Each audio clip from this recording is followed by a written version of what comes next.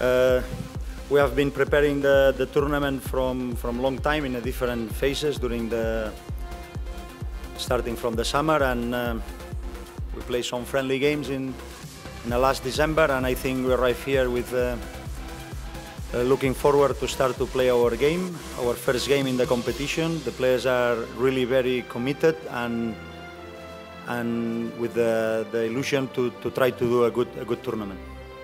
We are, we are here. We know that we have a, strong group. All the all the groups are, are really strong, and uh, I think to to face in the right way the, the competition, we have to to think only about this first game and after to prepare well the second one because we know that each, each game is going to be different and uh, if we want to, to go forward in the competition we need to think only about the next game.